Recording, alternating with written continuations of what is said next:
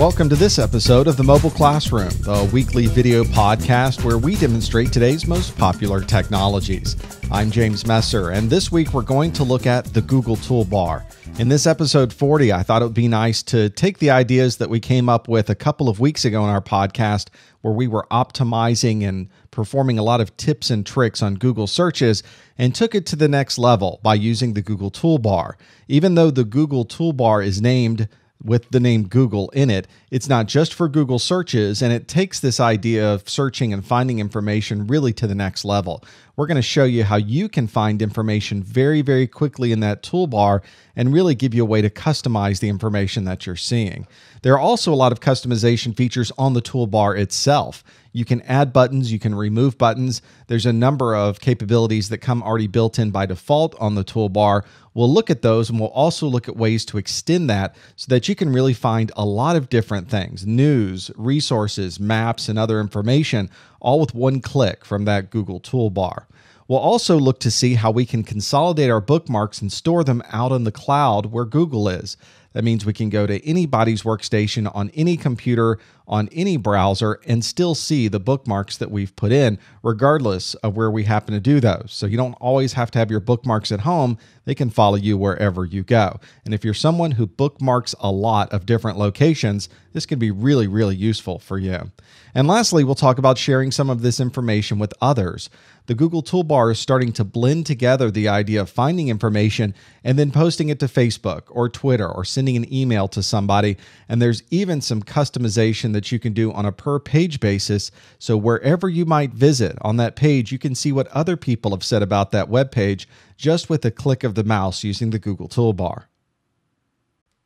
One thing that you should keep in mind with the Google Toolbar is that it only works in Internet Explorer and Firefox. Ironically enough, Google's own browser, Chrome, does not support the Google toolbar. But then again, Chrome also integrates in a number of the capabilities in the Google toolbar as part of their browser and operating system functionality anyway. So perhaps you don't need it as much if you're using Google Chrome. So we're going to focus on showing you how it looks in Windows Internet Explorer. There's some minor differences to how it looks in something like Firefox, but it is pretty much the same technology and the same program in both. Uh, to find the Google toolbar, let's just type uh, Google toolbar into Google here, and it will take us to this toolbar.google.com as the number one link there. And you can see very plain page that says share and contribute web pages with Toolbar. It's free. It installs in seconds. There's a lot of different functions. You can side wiki, you can share, and a lot of uh, other things. So we're going to, yes, install it by clicking that. There's a terms of service that you might want to read through. The toolbar does uh, send some information back to Google if you choose to do that. When you go to a page, gives you a lot of information and statistics about that page. The only way it can do that if it knows what page you're on. You may not feel comfortable doing that, so you have the choice to turn that on and off, and it explains a lot of that in these terms of service. There's also a privacy policy in here as well. I'm going to set Google as the default search in Internet Explorer. If it changes, I'm going to have it notify me. And we'll also set my home page to Google as well. I think it may be already, but that's okay. We'll make sure that's the case. And it even mentions that usage statistics are not associated with personal information. You can still disable that.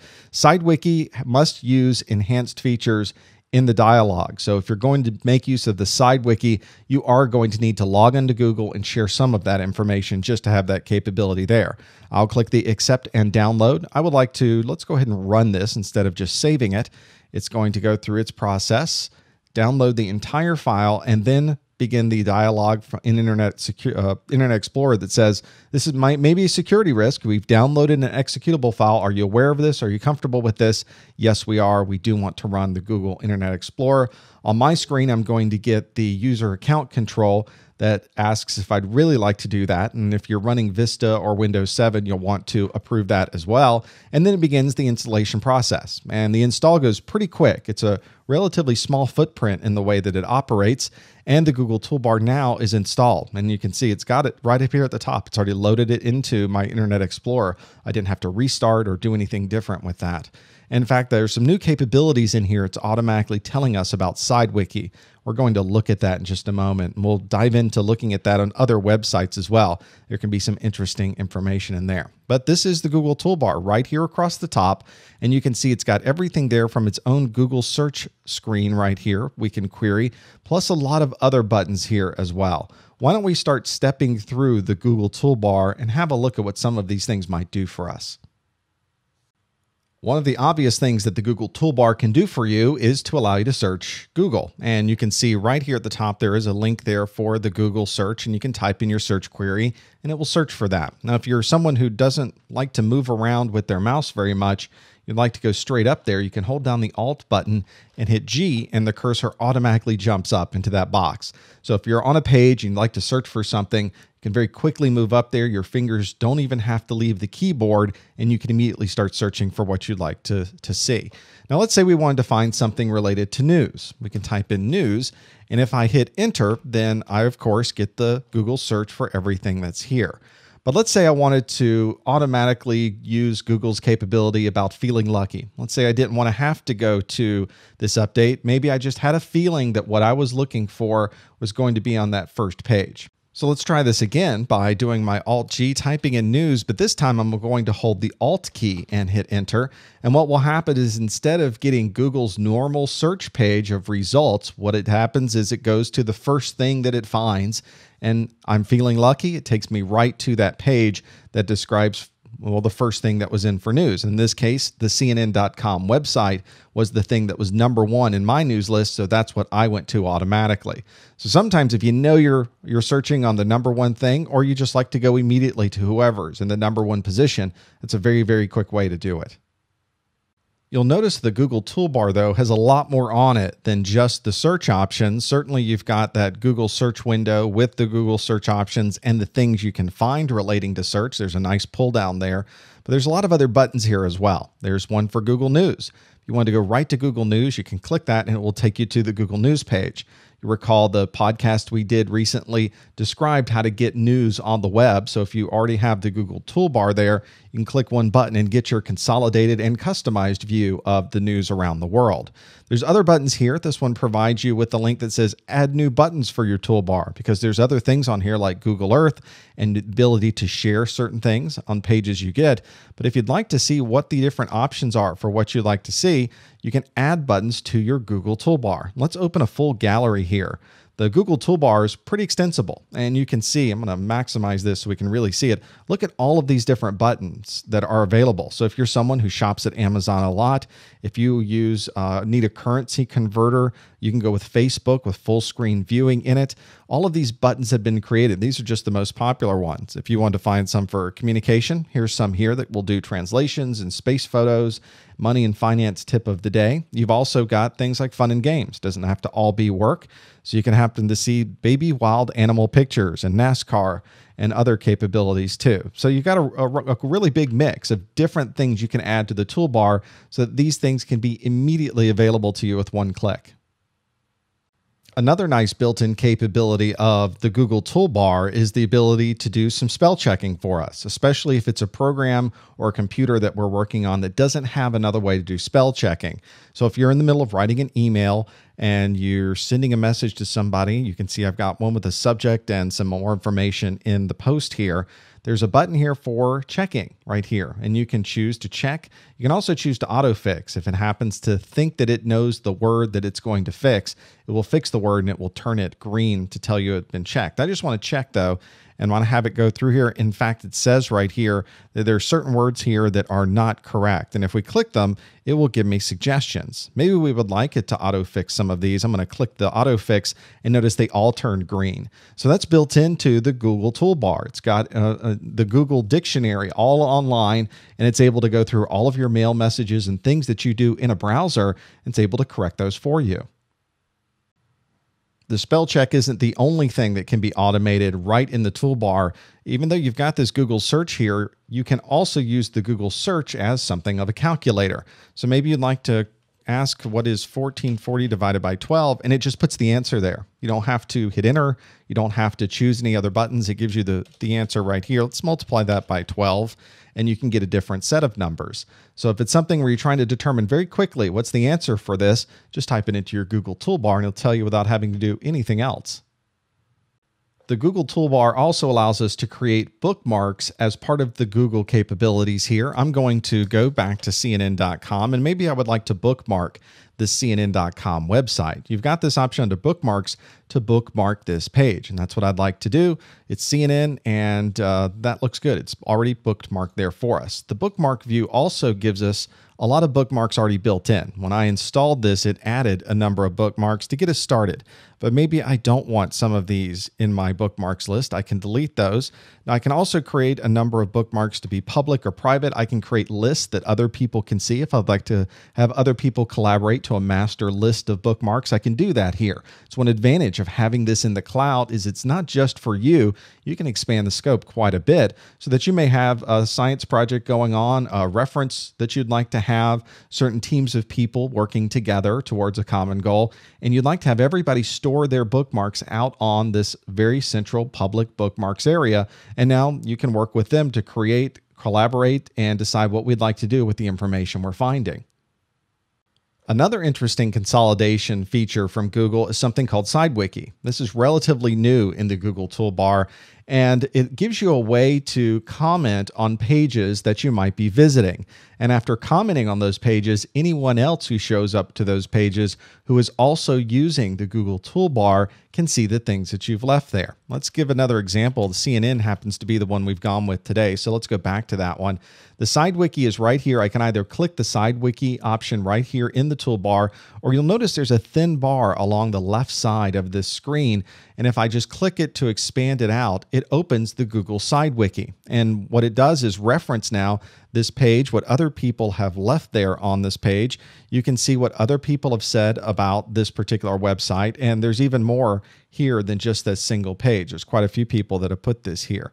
And it's even told us, nope, that's all you really need to look at. There's uh, other things that people have put in here, but the Google algorithm says those things aren't very useful at all. What we can do, maybe go back to our main page here and see what other people have put in here at the top, and, and we can vote on it uh, Google SideWiki adds some things automatically, but the people who are using the Google toolbar who have added information with the SideWiki puts this here and you can vote on it. And that way, if somebody's adding something to a page that either isn't correct or perhaps it's something that you should report, you can always click a button to report that abuse.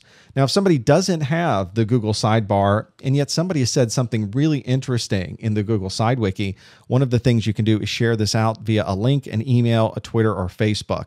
So even though you have discovered it via the Google toolbar, maybe if none of your friends are using the Google toolbar, you can at least send that to them or show them information on your Facebook page, and anybody can visit that particular piece of information, even though they're not already running the Google toolbar. There may also be times when you're surfing around the web and you found a page that might have some interesting information, things you'd like to know more about. Maybe it's a research project you're working on, but the best you can find is a page written in German and you want to know more about what's here. I don't know German very well, but I do know that my Google toolbar up here has a translate link inside of it. And all I have to do is click the translate button, and instantly, it seems, Google has already translated this page. Now, just like anything that's an automated translation service, some of these things don't exactly make sense when you're looking at it. It's more of a literal translation, but it's good enough in English anyway for me to figure this out.